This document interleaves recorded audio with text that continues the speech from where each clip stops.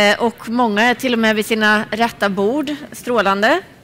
Eh, vi har, nu har vi eh, rört oss från Asien till EU som aktör. Och vi ska nu prata om sociala frågor, social hållbarhet i Sverige och världen är rubriken. Det är en jättestor rubrik och ett jättestort ämne. Men vi har en förträfflig person som ska ringa in detta komplexa område till oss. Det är Hans Abrahamsson som är välkommen upp på scenen Hans. Eh, han är docent i freds och utvecklingsforskning vid institutionen för globala studier i Göteborg, Göteborgs universitet. Och är också gästprofessor i globala politiska studier vid Malmö högskola. Varsågod, golvet är ditt. Vi har ingen bild idag. Du vet ju precis... Eh, Nej, filmen tänkte jag på. Eh, nej, vi kanske ska köra den. Ska vi ta, vi tar ner din presentation lite grann? Då gör vi det. Hej, god morgon kanske inte imorgon nu förresten, 10-12. De brukar inleda med en liten filmsnutt med några studenter. Du var så snabb där med din presentation förstår du. Så att vi, men vi gör så här så får vi upp den rätta. Och här har vi en frågeställning som ni ser som är väldigt aktuell, inte minst här i Stockholmsområdet eh, såklart. Och vi kör den så får vi höra vad gymnasieungdomarna säger.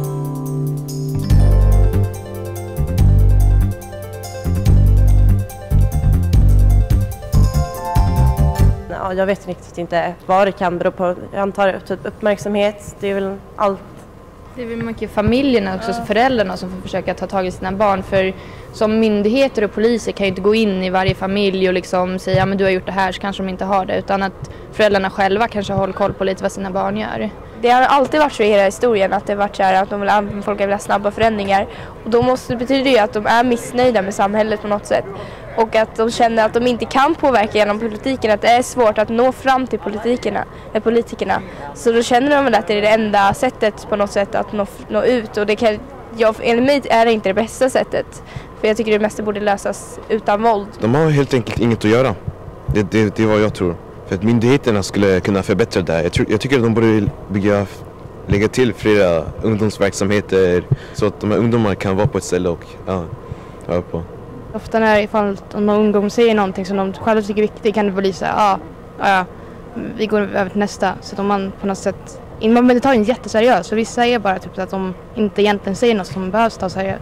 Men alltså, viktiga saker som så, åsikter så skulle det vara bra. Man kan ju inte straffa var, var och en, det blir jättesvårt för min, själva staten men eh, ja, man får göra sitt bästa som förälder också, ta hand om sina barn. Ungdomarna har tråkigt. Alltså, det kan inte vara något annat än det. Vissa skyller på att ah, de får inte fram sin röst och eh, jag vet inte vad då. Det kan, kanske hälften av ungdomarna kan tycka så men alltså, många ungdomar gör det bara för att hänga på. Om man gör lite mer aktiviteter, lite mer alltså, grejer som ungdomar tycker kanske är lite roligare i kanske varje ort eller så. Så tror jag att om ungdomarna har något att göra på dagarna och på kvällarna först och främst så tror jag att liksom, det kommer dras ner på alla upplopp och sånt. Tack snälla du. Eh, har ingenting att göra. Når inte politikerna. Jag tror att för att vi ska förstå lite grann det de här ungdomarna ger uttryck för så eh, kan vi inte helt lämna de tidigare passen. Världen har kommit till Sverige och jag ska nu försöka att göra en resa ner i det lokala tillsammans med er och ha med oss några av de perspektiven som, som både Jerker och eh, Maria kom in på tidigare. Jag tänkte prata om eh, det som jag kallar för den stora samhällsomdaningen i vår tid. Och varför jag var angelägen om att de här eh, eleverna och studenterna skulle få sin röst hörda det är att det som kännetecknar den här stora samhällsomdaningen det är framförallt mångfalden i perspektiven som måste komma fram för att vi ska kunna skapa förutsättningar för en social hållbarhet. Och själv tänkte jag idag bidra med ett freds och utvecklingsperspektiv på den här omdaningen som pågår. Och varför jag säger att det är ett perspektiv det beror på att vi har inte riktigt empiriska underlag ännu för att kunna ta ställning till vad det är som händer. Det går väldigt fort som man ska beskriva för er. Fort kommer också jag att prata och jag har fått ett antal minuter på mig och jag tänkte bara leverera någon form av aptitretare till er. Jag vet att, att ni är en sökande yrkeskår och om ni är intresserade och när ni kommer hem och funderar på vad var det han sa egentligen så är det så här att, att delar av det jag säger finns liggande ute på nätet i olika varianter, rapporter, eh, inspelningar av olika slag, inte minst via SKLs hemsida men också länsstyrelserna har lagt ut ett antal av de här samtalen som vi har haft. Eh, jag heter Hans Abrahamsson och jag är ekonom från början och arbetar sedan många år tillbaka som freds och utvecklingsforskare på institutionen för globala studier vid Göteborgs universitet. Och är man ekonom och funderar på förutsättningar för fred och utveckling så blir det ganska naturligt för oss att vi tittar på det som vi kallar för det strukturella våldet. Globala, regionala regelverk, spelregler för hur ekonomer och politiska relationer ska se ut och som också påverkar människors förutsättningar på den lokala nivån att leva anständiga liv. För några år sedan så fick jag en väldigt hedervärd förfrågan från Malmö högskola som säger till mig att du behöver inte hålla på och åka över Indiska oceanen eller Atlanten för att titta på den här typen av hur globala regelverk slår igenom och påverkar lokala förutsättningar inom det internationella utvecklingssamarbetet och biståndet. Vi vill att du kommer hit till Malmö och sätter dig ner tillsammans med våra forskare på Malmö högskola och inleder ett projekt om vad som händer när det lokala möter det globala. Och Malmö befinner sig precis i vindögat på något sätt. Och, och ehm, det har att göra med deras geografiska belägenhet och uppkopplingen till kontinenten via Öresundsbron. Inkomstklyftor ökar i Malmö. Så gör också hälsoklyftor. Förväntad livslängd mellan olika bostadsområden skiljer så mycket som mellan 7-8 år. Inkomstklyftorna utvecklas på samma sätt. Flyttar vi oss till Göteborg så har vi ungefär motsvarande utveckling.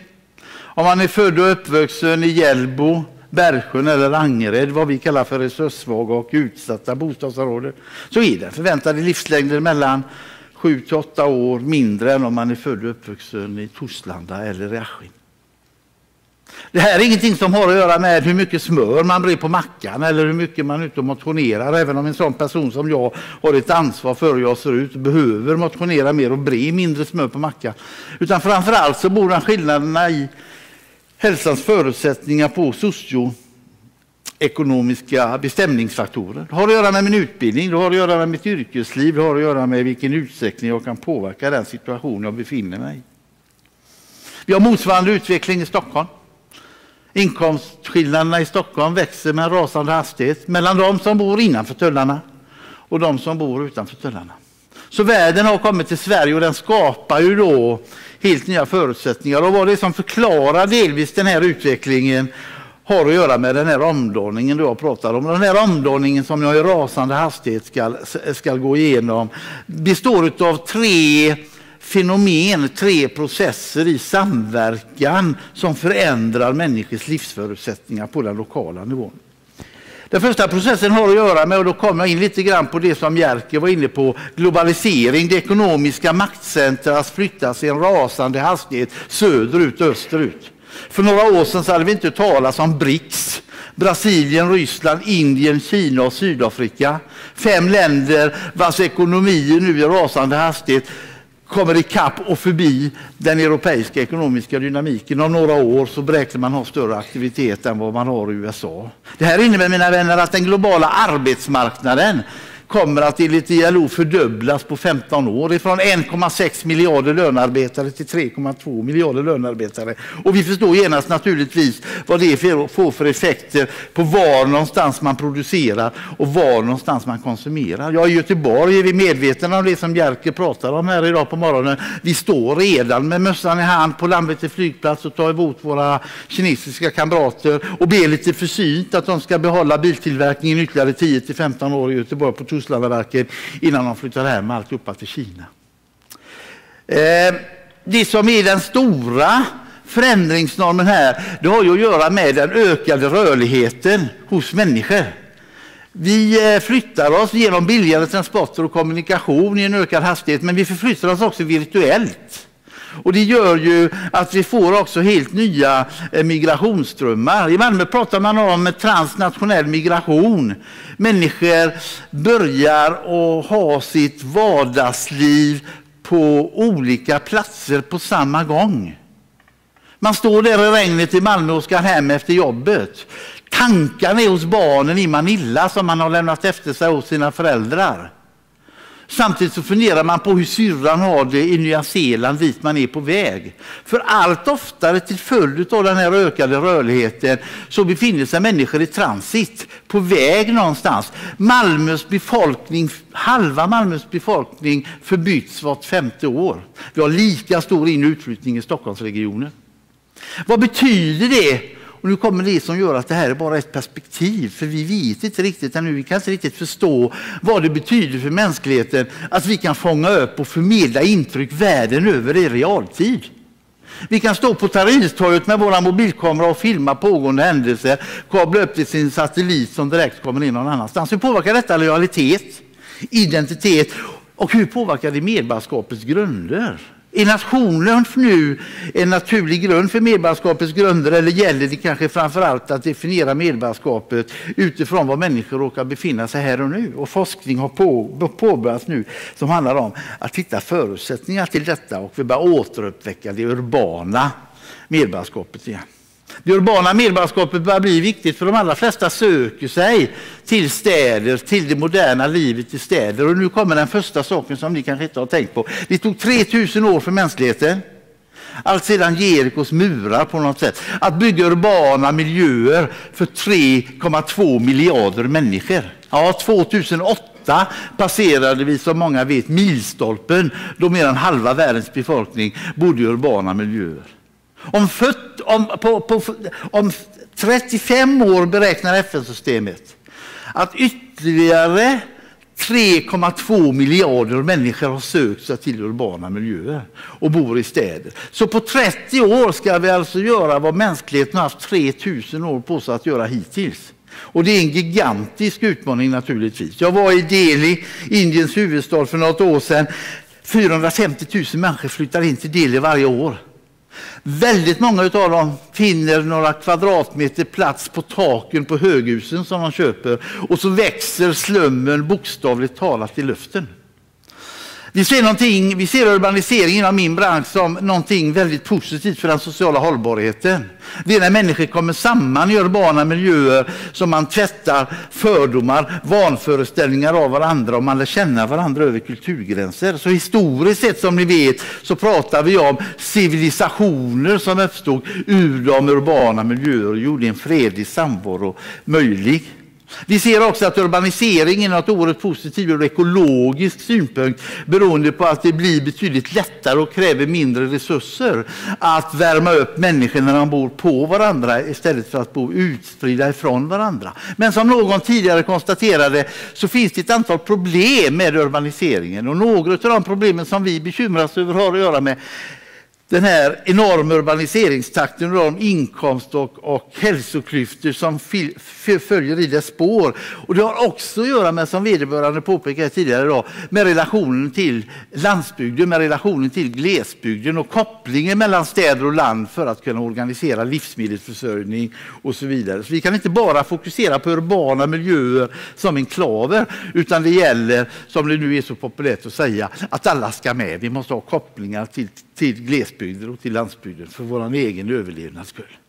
Tidigare när ni stod och undervisade, eller när ni själva gick i skolan, så fick ni lära er att fattiga människor bor på landsbygden i fattiga länder. Och det är så det svenska biståndet, det norska biståndet, det danska biståndet och även EUs bistånd är orienterat. Vi försöker tala om att fattigdomens geografi, misärens geografi har förändrats. Idag, mina kära vänner, så bor inte majoriteten av fattiga människor i fattiga länder på landsbygden.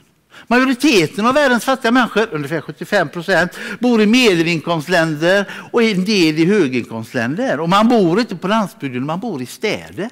Så att idag kan vi inte prata om rika och fattiga länder. Vi kan inte prata om nord och syd ens. Utan vi får börja prata om det globala syd och det globala nord som växer upp sida vid sida i samma stad utan territoriella gränser däremellan. Och här har ni den sociala hållbarhetens utmaningar på den lokala nivån i våran del av världen. Den här, eh, de här tre processerna, vad det är som skapar dynamiken, det är att de hänger ihop, påverkar och förstärker varandra och kan inte förstås isolerade från varandra. delvis har den här processen med att göra att städer har också börjat förändra och få en helt annan ekonomisk betydelse. Vi börjar få en ny vetenskap som vi kallar för den nya ekonomiska geografin som man vill att ni ska vara observanta på och som pekar på att det inte längre är länder och länders ekonomier som är det centrala utan det är kluster, urbana regioner som har den kreativiteten, den innovationen, den storlek på arbetsmarknad och avsättningsmarknad inom ett begränsat geografiskt område som krävs för den snabbaste ekonomiska dynamiken. Så vi tittar väldigt mycket mer idag på urbana regioner och det är framförallt städer som konkurrerar med varandra internationellt och inte längre länder. Det är städer som försöker hitta sitt varumärke och vill vi bygga ett höghus i Göteborg så ska det vara lite högre än i Malmö.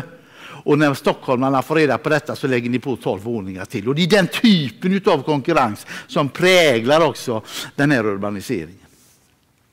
Den här relationen för städer gör att jag måste med Marias tillåtelse ta er på en statsvetenskaplig grundkurs på 20 poäng på två minuter. Och jag vill försöka föra in ett perspektiv på vad globaliseringen egentligen är för någonting. En lång historisk process som inte hade någonting att göra med Sovjetunionens fall eller Berlinmuren, utan som hade att göra med att mänskligheten spreds över världen och började sprida sina idéer. Och då är vi åtminstone 2-3 tusen år tillbaka i tiden med religionernas födelse, då globaliseringsanden började sväva över planeten Tellus. Här kommer globaliseringsanden in på skärmen och vid en given tidpunkt så fångade vi in denna globaliseringsande i en flaska, i ett kärl. Och kärlet svällde och fyllde gradvis det politiska rummet. Statsvetare och ekonomisk historiker gillar att sätta årtal på saker och ting som man har bestämt sig för att 1648 var tidpunkten då den här processen på allvar kom igång. Några av er är historielärare och minns att detta är den westfaliska freden. Gustav II Adolf dog i dimman av Lützen i Europas religionskrig. Och där bestämde man sig för att det var kungen eller fursten som skulle bestämma vilken religionsutövning som skulle ske på hans territorium. Och då krävde de i gengäld möjligheten att genomföra Gustav Vasas dröm, nämligen att etablera nationalstater och kontrollera de människorna som rörde sig på den marken över vilken de härskade. Och så putte man ut ett antal aktörer som tidigare fanns i vad vi kallar för den prevestfaliska ordningen. Det var påven som hade haft en maktfaktor, en maktstruktur. Det var kungen, det var också som ni ser feodalherrar, kyrkan och inte minst Hansastäderna om vi pratar om den här delen av världen som hade spelat en central roll för det världsekonomiska systemets utveckling. De trängdes nu gradvis tillbaka för staten växte fram och fyllde det rummet och tog över stora delar av det politiska beslutsfattandet. Ni ser att det finns lite luft kvar till taket och golvet fortfarande. Det var en mörk tid i Europas historia. Vi fredsforskare vi fattade inte hur i helvete vi kunde bete oss så barbariskt. Vi hade ihjäl 220 miljoner människor på 300 år. Två världskrig. Och så satte vi oss ner i Bretton Woods en liten skidort till USA efter 300 år och sa finns det inget anständigare sätt som vi kan hantera konflikter på. Och så räknade vi ut att om vi gjorde ekonomin mer ömsesidigt beroende av varandra, för en hund biter väldigt sällan den hand som föder den, så kanske vi kan skapa förutsättningar för anständighet och större fredlig samverkan. Och så har Maria pratat om hur vi etablerade kol och stålunionen, EEC och EU och hur Europa också fick fredspriset av den norska Nobelkommittén för ett antal år sedan. Så att den här ekonomiska samverkan har varit oerhört viktig, och inte bara för Europa, utan den har ju som ni vet kännetecknat då hela världen. Och samtidigt som vi skapar den här ekonomiska interdependensen, ömsesidigheten, så släpper vi också ut naturligtvis den globaliseringsandan ur flaskan igen. Och då pratar statsvetare om att vi går ifrån en, regerings, eller en form för regeringsutövning som vi kallar för government in i någon form av regeringsstyrning som vi börjar kalla för governance. Och vad governance representerar då, det är att vi lämnar den hierarkiska styrningsformen och går in i nätverkssamarbete. Och samtidigt så kommer ett antal nya aktörer in då och tar tillbaka den plats eller ta för sig av den plats som blir över när staten kommer tillbaka. Det är transnationella företag, det är transnationella institutioner, Världsbanken, Valutafonden som kommer med sina regelverk. Det är regionerna som kommer, men det är också städer som blommar upp igen och som får ett allt större ansvar på den lokala nivån att sätta igång med den offentliga verksamhet som tidigare var en fråga för staten och den nationella nivån. De allra flesta kommuner och landsting idag runt om i Sverige befinner sig i en rävsax där man fattar ett antal beslut i den svenska riksdagen som ska genomföras på den lokala nivån i decentraliseringens anda. Men man får ingen vidhängd finansiering.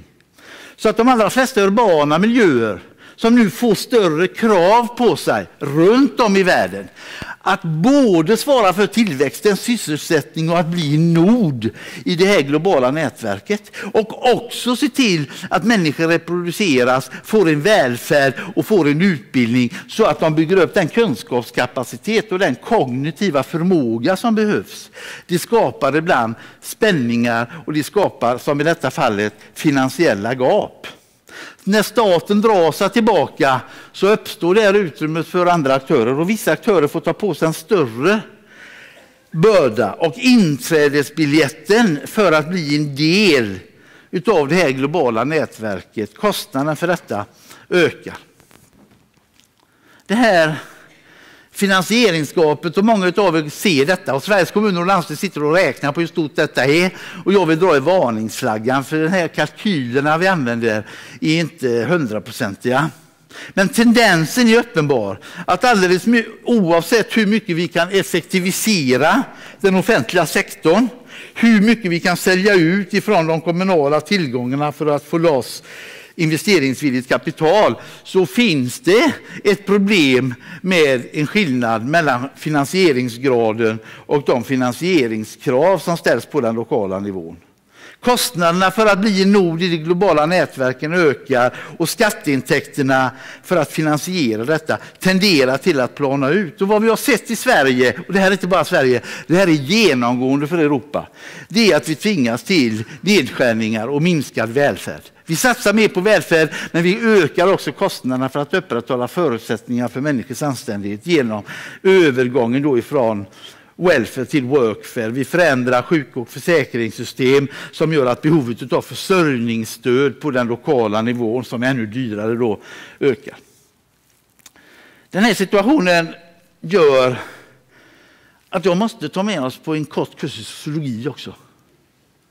Vad som har kännetecknat de nordiska länderna, men också Västeuropa, det är relationer mellan nationalstat och det civila samhället. Det är det som vi kallar för det sociala kontraktet. Och vad vi ser nu är att detta sociala kontraktet och det civila samhället håller på att luckras upp, delvis som en följd av att statens moderna institutioner inte längre når ut på samma sätt. Som invånarna säger i några av förorterna i Göteborg så finns ju bara Skatteverket, Försäkringskassan och Arbetsförmedlingen i Nordstan. Till och med bibliotek eller bankautomater har försvunnit ifrån delar av våra förorter. Så människor som bor på de ställena utanför stadskärnan ser ingen kontakt längre med statens moderna institutioner. Därtill kommer då de här regelverken, de här förordningarna ifrån de globala instituten som ställer krav på makroekonomisk balans och som gör att vi får utgiftstak i kommunen som gör att vi måste göra våra budgetar med 2-3 nedskärningar i fasta priser varje år. Och den här tendensen då är att människors identiteter och lojaliteter flyttas neråt i systemet. Och vad vi ser då, som Reinfeldts framtidskommission påpekar och kallar för gemenskapsgrupper, det som socialantropologer talar i termer av primärgrupper och det som polisen pratar om i form av gängbildningar och det som sannolikt förklarar det som sker i Tensta. Det är framväxten av vi-grupper ur det civila samhället som söker sin sociala trygghet och sin försörjning i mindre gemenskapsgrupper. I släkten, i grannskapet, bland kompisar och också ibland gängen. Och vad vi ser då växa fram och som vi håller på att titta på betydelsen av, det är ett antal informella trygghets och försörjningssystem som går in i den här processen som gör att människor hittar, man ramlar inte omkull där man sitter i sin utsatta situation, utan man fixar saker och ting med hjälp av sina kompisar. Och speciellt då i den mångfalden som ökar med den transnationella migrationen när man bär med sig från de ursprungsländer man kommer ifrån en vana utav att man fixar saker och ting själv inom klanen, inom släkten, inom familjen eller bland kompisarna. För ofta så har man inte upplevt någon stat där man kommer ifrån överhuvudtaget. Det som oroar oss freds och utvecklingsforskare det är ju att i vissa bostadsområden här i Stockholm om vi åker ut till Husby så är det mellan 30 till 35 procent av unga människor som vare sig arbetar, studerar eller är i praktik. Ja, vi vet inte vad de gör, men vi kan vara fullständigt övertygade om att någonting gör människor för att kunna hålla sig på benen och överleva. Vad våra studier visar det är att från och till så uppstår det frustrationsgap. Frustrationsgap mellan vad människor förväntar sig ifrån utvecklingen för att leva anständiga liv och vad man känner att man kommer att kunna få. Det gapet det var en oerhört viktig drivkraft för vår föräldrageneration. Farsan kämpade för att ta sig ut ur ettan med kallt vatten och dass på gården och drömde om förutsättningen att stuva in oss allihopa i en tvåa med varm och kallvatten och badrum och därtill komma hemsläpande med en 17-tums tv för att vi skulle kunna se på Nacka Skoglund 1958. Den svenska modellen byggdes upp för att människor hade framtidstro. Tron på moderniteten, tron på framsteget. Då är de här frustrationsskapen konstruktiva. Idag ser vi tecken på hur den sociala rörligheten minskar och hur människor känner att de inte kan påverka sin situation, hur mycket utbildning de än skaffar sig, så beror det på att de ändå inte kommer in i innanförskapet, att de ändå känner att de aldrig kan egentligen tillfredsställa det som blir anständigt. Och den här känslan av vad som är anständigt, den ökar ju lavinartat världen över med hjälp av vad vi kallar för CNN-faktorn. Man sitter på tv, man jämför sig inte längre världen över mina vänner med kompisarna på andra sidan diket. Utan man jämför sig med helt andra människor på helt andra situationer. Och det ökar ju naturligtvis frustrationsgapet. Vi ser, jag är snart färdig, hur det här leder, det är inte så att när man har skrivit 300 jobbansökningar och inte ens blir kallad till en intervju, att man ställer sig upp och skäller på samhället. Utan man skuldbelägger sig själv, visar forskningen nu ganska entydigt. Den intresserade Bengt Starin i Karlstad har gjort mycket studier av detta som visar just på att människor som inte får lov att komma in i det svenska samhället eller i sitt eget samhälle och känna att man kan påverka sin livssituation går omkring och tycker att det är en själv det är fel på och så uppstår det oartikulerad skam. Och då visar vår forskning hur detta då många gånger leder till vrede och våldsyttringar. Och här har ni förklaringar till kanske de pulveriserade busskurer som då och då blir, göra oss så förbannade var och en. Va? Hur folk kan stå och sparka ner detta. När jag är ute och pratar om det här så säger folk till mig att du, det är, läget är så här att det finns också människor som är frustrerade på en högre materiell nivå som framgår som förebilder. Och då blir det ofta att vissa människor 12 till 15 år blir väldigt attraherade av de här gängledarna och känner att de vill bygga upp sin sociala trygghet med att känna de människorna. För då är det ingen jävel som kan bråka med dem i kvarteret där de bor. Och de intervjuer vi har gjort ifrån ett antal bostadsområden i Malmö och Göteborg får vi svaret, jag föredrar att vara där för då kan jag åtminstone känna att jag är någon. Och det har kommit ett antal rapporter, då, konsten att vara någon eller rätten att vara någon, som visar då varför människor söker sig till sådana här gängbildningar som också ofta är kriminella. Och då får man den här kontakten naturligtvis, att, att de grupperna då leder till den här typen av våldsamhet. Jag får ofta höra att det här är inget problem för utrikesfödda, det är inget etniskt problem, det här är inget invandrarproblem. Det här är inget problem bara i våra resurssvaga områden. Och en invändning som kommer, och jag är ledsen, den kategorin som vi verkligen har ett bekymmer med i Sverige idag och som är de mest utsatta träffar ni dagligen. Och det är Folkhälsoinstitutet och Ungdomsstyrelsens och Studenthälsans stora problemgrupp, nämligen tjejer mellan 20 till 25 år. 40 procent av dem uppger att de vill ha lugnande medicinering för att de känner sådana sömnbesvär, har en sån ångest och känner en sådan meningslöshet i tillvaron. Och detta, det är den farliga gruppen. Det finns en grupp till och det är grabbar, svennar som har blivit och som känner sig övergivna av samhället. De bor i glesbygder där de fortfarande är arbetslösa. Deras tjejer har dragit in till universiteten, hade tillräckligt med betyg för att kunna fortbilda sig. Och så sitter grabbarna kvar på sina epatraktorer och känner meningslösheten. Och en del av dem drar in, jag pratar om Värnamo, drar in till Jönköping och så bildar man Sverigepartiet och nynazistiska och nyfascistiska rörelser. Och den här utvecklingen möter jag ifrån Haparanda till Trelleborg när jag reser runt i Sveriges kommuner och landstings nätverk för att diskutera hur frustrationsskapen uttrycker sig på den lokala nivån. Kära vänner, detta var en aptitretare som jag hoppas ni inte tar illa vid för att jag kommer hit och säger vi har ett socialt problem och vi, har, vi står inför en gigantisk utmaning. Å ena sidan så har städer och takten, möjligt, möjlighet att skapa förutsättningar för social hållbarhet, det gröna ljuset. Och vi arbetar mycket i den riktningen. Men vi ser också att det finns en risk för att städer och urbana miljöer till följd av detta jag pratar om håller på att utvecklas till slagfält för sociala konflikter. Och Den här rörelseriktningen i detta spänningsfältet, och där kommer den goda nyheten avslutningsvis innan vi går på lunch, det är att den är politiskt påverkbar.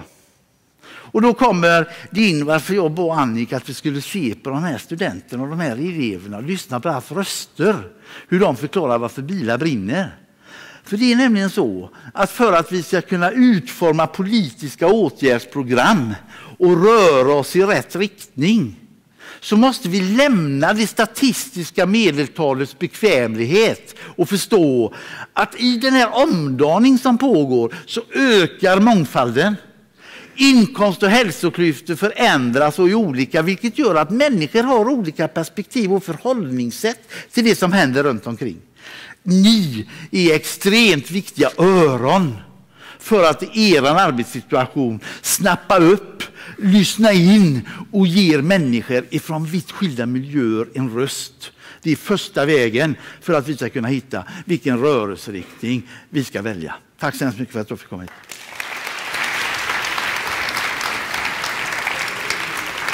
Tack så hemskt mycket. Tack så hemskt mycket Hans. Eh, det är extremt intressant och väcker ju tusen frågor, eh, vilket ni säkert nu vill ta tillfället i akt och ställa. Eh, ni ska också veta att Hans är med oss i panelen efter lunch, så att det finns också möjlighet att där, om det är någonting som väcks under lunchen, att återkomma till de här frågorna, för det är detta vi ska prata om då. Och i väntan på att se någon hand så tänkte jag fråga dig, är de här städerna som kopplade upp sig mot varann, som du beskriver. Eh, ska man se de här borgmästarna eller motsvarande som de nya systemskaparna? Vad, hur, hur, kommer man söka varandra utifrån de sociala utmaningar man har? Eller är det de ekonomiska och industriella aspekterna tror du som får de här städerna att hitta varandra oavsett på planeten var de är? Alltså, Fullständigt lysande fråga. Varför ställde du inte den igår? Den är, det är briljant den här frågan, för det är väldigt få som ser detta. Man kommer inte till rätta med utsläppen av koldioxid. Vi har klimatförändringar. Det drabbar de som bor i Kalifornien stenhårt. I Göteborg det är det en dag vi inte kan gå ut beroende på invasion. Men mina kompisar i Kalifornien i ett antal dagar som de inte kan röra sig.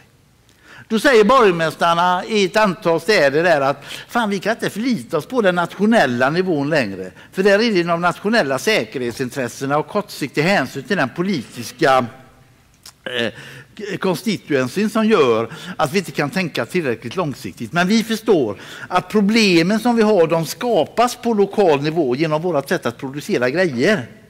Och skiten som kommer ner från den globala nivån, den drabbar oss också på den lokala nivån. Så låt oss ingå frivilliga samarbete på den lokala nivån. Och så uppstod det i USA någonting som hette Greening Cities 990 städer går samman och etablerar frivilliga överenskommelser som innebär att man reducerar koldioxidutsläppen mer än vad som hade blivit fallet om Clinton och Bush-administrationen hade fått igenom Kyoto-avtalet i kongressen. Detta sitter jag och hör i Rio de Janeiro utav alla ställen på en FN-konferens. Och det sitter två delegationer jämte mig där. En från Malmö, ledd av Malmös starke man Ilmar Reepalu och en från Göteborg, då, Göran Johansson. Och vem som sa det först till vem, det håller de här två gubbarna fortfarande på att gräla om. Men någon sa till den andra, du fan kan amerikanarna så kan vi. Och så har man gjort borgmästaravtal i Europa och gått så långt nu i Europa, 89 städer har skrivit på detta, som innebär att i Europa så minskar vi koldioxidutsläppen mer än de 20 procenten som beställs av kommissionen. Så vad vi börjar att se nu, det är precis Annikas fråga. Vi ser hur politiken på den lokala nivån genom sina gränsöverskridande nätverkssamarbete, man söker hjälp när man inte längre kan få det på den nationella nivån och så bygger man samarbete mellan städer och kommuner. Det sker inom Sveriges kommuner och landsting, men det sker väldigt mycket inom nätverk inom Europa. Så svaret är entydigt Annika. Där ser jag också kraften. Förlåt att jag tog tid, men jag blir så glad för den frågan. Tack. Då tackar jag för det och släpper in en fråga från golvet. Varsågod. Ja, tack så mycket. Jag tänkte koppla till ren politik här. Den utveckling som du beskriver med ökade klyftor, eh, resurssvaga respektive starka områden och så vidare. Hur mycket vill du koppla det till eh, liberalismen som ideologi som har tagit kraft, ja, Sverige 80-talet framåt, man överger svenska modellen och så vidare? Tack. Eh, när vi bestämde oss för att det var marknaden som mest effektivt skulle kunna organisera den ekonomiska utvecklingen så gjorde vi också, och det tar vi alla på oss som jobbar med ekonomi, felet att vi såg på utgifter som det stora problemet och speciellt när det gällde de sociala kostnaderna. Sociala åtaganden och de sociala problemen inbillade vi oss att marknaden skulle automatiskt kunna hantera. Och det gjorde att medan vi upplevde fysiska investeringar som nödvändiga för att bli en nod i de globala nätverken så såg vi på sociala kostnader som en belastning och som vi bestämde oss för att minska. Vi förstod inte att sociala insatser var lika viktiga för att bli till en nod i de här globala nätverken, utan vi prioriterade det rent ekonomistiska. Nu börjar vinden vända i EU. Nu börjar vi inom Europa se att den sociala sammanhållningen fick betala ett väldigt högt pris för detta. Så nu idag så diskuterar vi vikten av att övergå till en social investeringspolitik där vi försöker att få till stånd en mental förändring som säger att det inte bara är de fysiska kostnaderna som ska in i den långsiktiga kapitalbudgeten utan det är också kortsiktigare sociala åtaganden som måste flyttas ifrån driftsbudgetens krav på att skrivas av varje år in i ett mer långsiktigt tänkande. Så vinden börjar nu vända inom EU, inom det här projektet Social Cohesion.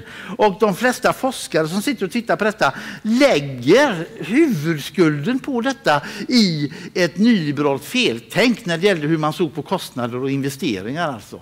Och jag tror att vi börjar att nå en konsensus inom, inom akademin när det gäller just den bristen. Sen finns det andra dimensioner hos nyliberalismen som, som man kan debattera och som man kan se i ett annat ljus. Men just detta du pratar om, marknadens förmåga. För marknaden har aldrig varit tänkt att ta hand om de svaga, de fattiga. I marknadens dynamik ligger det att vända sig till den kategorin som har köpkraft som kan se till att våra aktieägare får sin avkastning på kapitalet. Och det kan vi inte moralisera över, för det ligger i den dynamiken. Men vi får de här effekterna som din fråga implicerade. Och därför så känner jag att de vindar, och idag runt om i Sveriges kommuner och landsting, och då är Sveriges kommuner och landsting styrd idag ifrån allianspartierna beroende på den majoritet som har i riksdagen. Ifrån Haparanda till Trelleborg diskuteras idag hur utformar vi sociala investeringsfonder? Och ni kan gå in på nätet och googla detta på SKL, sociala investeringsfonder det var han Stjernqvist i Norrköping som började det och sen så kom Motala och Ale och så vidare efter. Så att det började sprida sig runt om och inte bara då i Sverige utan i hela Europa. Sociala investeringsfonder. För Europa är en krutdurk idag. 50 till 60 procent ungdomsarbetslöshet är helt oförenligt med om vi ska kunna bli en nod i det globala nätverket och ett kunskapssamhälle. Tänk på vilken kognitiv vi förlorar, vilken kognitiv kraft vi förlorar genom dessa ungdomar som inte får lov att vara med i samhället. Hans, du brukar, prata om, du brukar prata om att vi måste prata om eh, innanförskapet och inte bara utanförskapet, eller hur? Mm. Vad menar du med det och vad är det det offentliga samtalet inte klarar av när det gäller det? Det finns en forskare, en sociolog i Malmö som lärde mig detta. Han säger till mig så här. Det är inte utanförskapet som är problemet Hans. Där riktar vi alla våra insatser och våra resurser. Men om du sätter dig ner och tänker efter så är det innanförskapet som är problemet. Det är att vi sätter så stora gränser och regler för vad som krävs för att få delta i globaliseringen och delta i det svenska samhällsbygget så att väldigt många människor hamnar utanför. Och jag tror att Mikael Stigenlöf som han heter, han har helt rätt i den här tanken. Att vi kan inte bara titta på vilka insatser som vi ska göra i resurssvaga områden utanförskapet. Utan vi måste också ställa frågan, vad kan vi göra för att länder runt om i Europa ska ta ett större ansvar för flyktingsituationen? Vad kan vi göra för att städer runt om i Sverige ska ta ansvar för att vi behöver ett antal nybyggda hus, hyresrätter för att lösa det här gigantiska bostadsproblemet? Och när jag kommer ut då, Annika, till vissa bostadsområden där folk sitter och beklagas över gänget som lever i resurssvara områden och att vi måste göra någonting med integrationen och så vidare, så säger jag, ja lösningen finns ju här. Nu fattar vi ett beslut i kommunen och bygger fyra stycken höghus med hyresrätter. De allra flesta kommunstyrelser jag besökt som har satt detta har de satt i halsen. Flera säger rent ut, då kommer ju gänget. Då menar jag att, och det är det jobbiga för mig va, som freds utvecklingsforskare, hur vi ska hantera innanförskapet och ge människor en chans att delta i det svenska samhällsbygget beror på det som vi alla bär på och som jag lider av och skäms för. Jag måste berätta det för er. Jag har jobbat en jävla massa år som ni ser på mig och jag har fortfarande massor av fördomar som jag går omkring och har problem med. Jag har massor av rasistiska tankar som kan dyka upp. Jag bedömer människor efter hudfärg, efter hur människor är. Och jag värnar min familj och funderar på, ska verkligen mina barn gå i den skolan? Får de inte en bättre framtid om de flyttar? dem? Ska verkligen den här gängen flytta in i mitt grannskap? Förstår ni? Vi måste se sanningen i vitögat och ta tag i våra egna fördomar, i våra egna tankar kring vi ska förhålla oss till människor som kommer från andra samhällen och andra situationer och, och förstå att de kulturella mötena är spännande och det är det som skapar framtiden på något sätt. Och där tror jag att vi har det, och då menar jag detta Annika, att det som jag känner också i mig själv då va, är att där är utmaningen. Den stora utmaningen ligger inte utanför skåpet utan det ändrar på 60-åriga gubbar i min, utav min kategori på något sätt. Förlåt alla mina kompisar här inne. Vi ska sluta nu för lunch. Ja, det är värt en applåd. En stor varm applåd. Eh, vi ska, jag tänkte försöka utmana dig på att svara nästan med ett ord. Hur tror du att eh, de här lärarnas elever kommer, eller redan nu kanske, identifiera sig själva? Du var inne på en av, en av dina bilder där. Eh, kommer de identifiera sig som stockholmare eller kommer de identifiera sig som svenskar eller från ett, ett visst kvarter eller en viss gymnasieskola? Var hör de hemma? Mm. Underbar fråga. Va? Precis den frågan. Träffas vi om tio år, kramas och tänker på, har vi sett tendenser? För det är den öppna frågan. Vad sker med identiteter idag? Vad sker med lojaliteter? Har man sitt liv på flera ställen samtidigt, och det har unga människor genom Skype, genom nätet, genom kompisar runt om i världen, så vill vi ju tro att de är på väg att bli världsmedborgare. Och så sätter man sig och pratar med dem. Så känner man att det finns ett jättestort behov av den lokala förankringen. Och vi ser hela tiden den här dubbla tendensen. Den politiska kampen mellan att ge sig ut i världen, öppna dörren och ta in intrycket och så rusa in i den westfaliska flaskan i nationens trygga famn. Att ropa på den starka staten som skyddar oss mot otäcka. Och i det spänningsfältet, där finns våra ungdomar idag. Och det finns inget givet svar, utan det är vi själva och våra dagliga förhållningssätt som kan hjälpa människor att hitta riktningen i detta spänningsfältet. Det var lite mer än ett ord, men det var ju väldigt värdefulla ord. Så att det, det är eh, helt okej okay, Hans. Nu ska jag ge lite instruktioner för lunchen. Då är det så här att ni går till receptionen, en trappa upp, och då rakt fram från huvudentrén sett, ta till höger. Där finns personal som guidar er vidare. Så välkomna nu till en god lunch och var tillbaka 13.30. Då drar vi igång panelsamtal där också Hans deltar. Tack så länge.